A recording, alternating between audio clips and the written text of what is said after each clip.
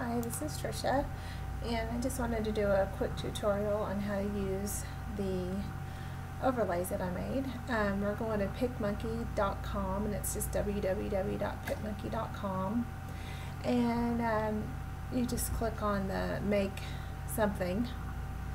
Uh, and I always start with opening the actual card um, so you can have your card as the correct size. So there's the first one, which is the Santa and the Baroque frame. So then you just go click on overlays and add your own. This is where we're going to find a picture. This is image of some friends of ours. I did a photo shoot for them last year and they allowed me to use this in a in this tutorial. That was a really cute picture. And uh, so you just kind of put it where you want it on the overlay doesn't have to be perfect. Um, and then you're going to go back now, you're going to add the actual card you're going to use, uh, which usually would be the same one, depending on what you're working on. Um, so just go back and open it again. And now, for some reason, it does not come out to the same size. Um, so you just adjust your image. These are pretty easy to adjust. Um, they seem to be proportionate. Um, now the images are not that way, but the overlays are. Um, so just kind of set it where you want. You can probably make it a little bit bigger if you wanted to, but just um, try to size it up. It doesn't have to be exactly perfect, but you want to look for centering and stuff like that. Uh, make sure you don't um, have any of the underneath showing because that would show on any prints that you make. Here I'm just lining it up and then just click off and then click back on the image and then set your image where you want. You want to center it and be careful at the bottom because it would show through. Like if you have it raised up too much it'll show through. So you want to kind of make sure it's fitted in the frame correctly. And that's it. It's done. Now you're just going to save it. And um, there's different sizes in PicMonkey uh, you can look at them and it tells you the resolution um, if you're doing it for the web, that low res is fine. If you're doing just for Facebook. Pierce, um, I've kind of kept them at Pierce for this project that I'm working on. Um, I actually have not printed any samples yet. I, I want to do that just to kind of get a difference in them. Uh, but for this um, size of a card, it's about a 4 by 6 The Pierce should be good. And then if, it's always better to save bigger in my opinion. So if you don't know for sure, then just save it bigger. Um, you can drop down and save your different sizes. Um, you can also save to your computer or you can download it. And the only thing with downloading is you need to make sure you know where your downloads save.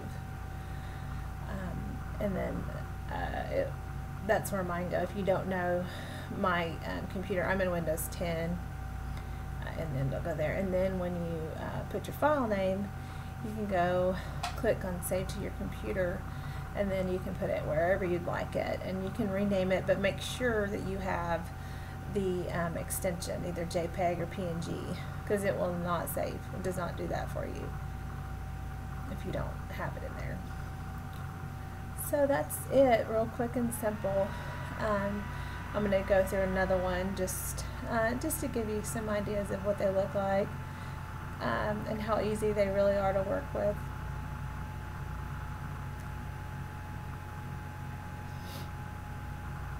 This one is um, snowman and actually these that I'm doing here with the, the snowman and the frosty I actually got those images off of a, a website that allows you to use those images. Um, and um, it's called Pixabay. I may leave a link down below if you're interested in making your own cards. Um, they have some really great images and um, they allow you to use them. I did the I did the different things too, like adding uh, the overlay um, and then cropped out the box. I did all of that in Photoshop. Um, uh, but I thought those just were just too cute for Christmas cards as I was just kind of playing around. Um, I mainly just wanted to do this to um, show you how to use the overlays that I did. Um, my hand lettering set that I released a few days ago.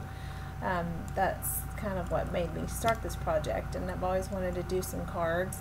Um, and I actually do kind of make my own each year. But this was just fun, fun project to work on, and um, I just love doing stuff like this. Again, I'm just going through and saving it again. You want to rename it if you need to. The good thing is if you save it to your computer, you can rename it when you do your file. Oops. Okay, so that one was that one. Um, I did some portrait sizes and some landscape, and then that snowman has a little snow scene. Um, if you have a light picture, you know, you may not want to use that one. You may want to just use the blank one, but with that darker image, I kind of wanted something to contrast with it. Um, the one thing on here, I'm going to use different uh, overlays, but I'm just keeping the same background open because they're all about the same size. Um, you don't have to reopen it every time. And I don't know if you're going to be doing this this many pictures, um, but if you want some variety and to play around and learn, you can do that. This picture is my mom and her husband in San Diego. I thought this was just a cute picture of them, and uh, she liked um, this uh, overlay that I'm going to use for them. Uh, and uh, so I thought I would use this one as in how to use them in the tutorial. I took off a few things and just put the Be Merry Y'all. I just love that.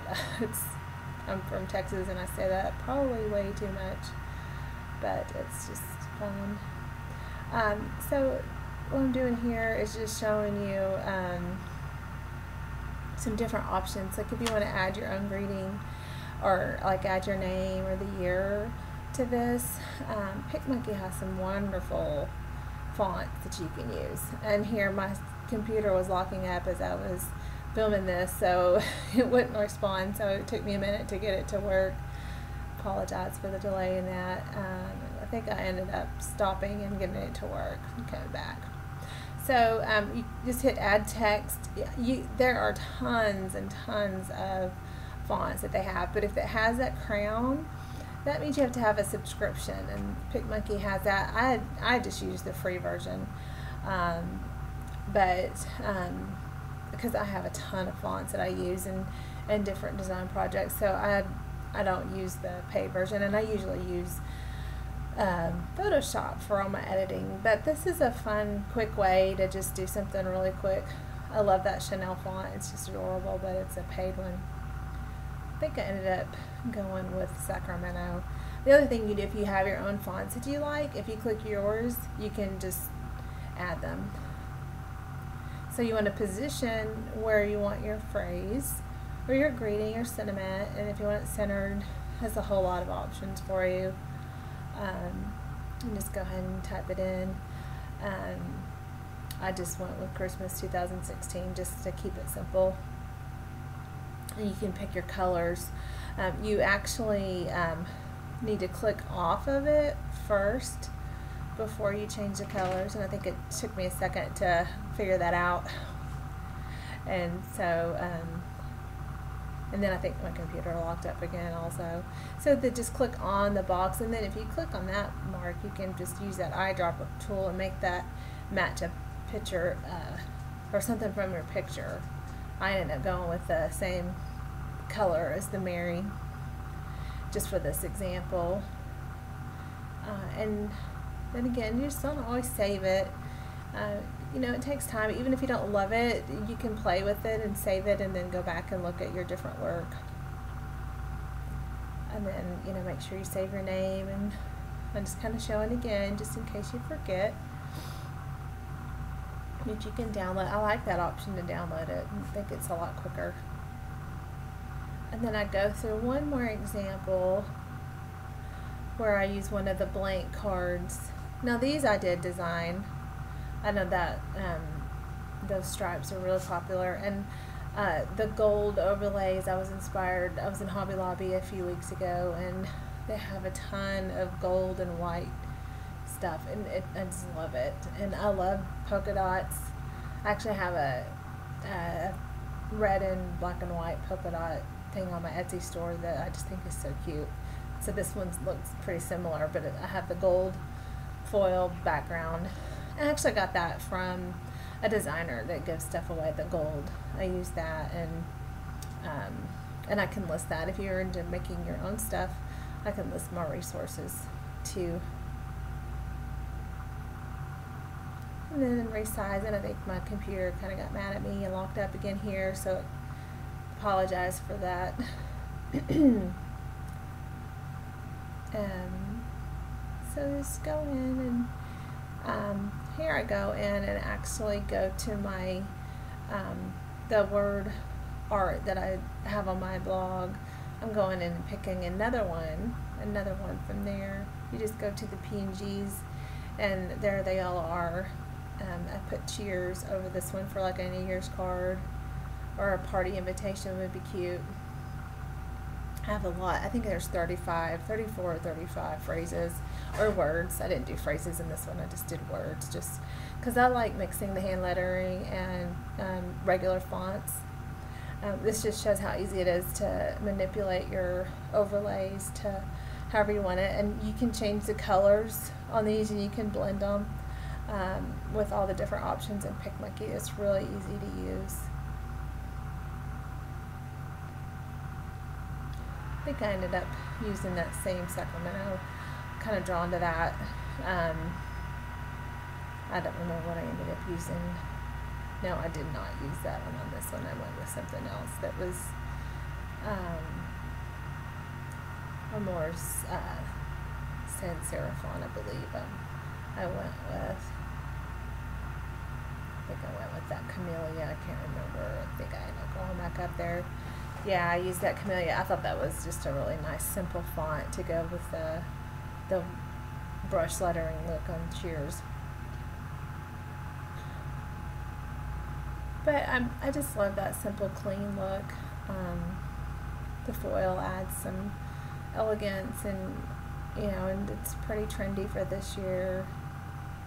Um, you can resize. Again, you have to be out of the box. You can't do it while you're typing. You have to just kind of click on the text box to change it, and it's just showing you how to do it. I didn't leave it that small.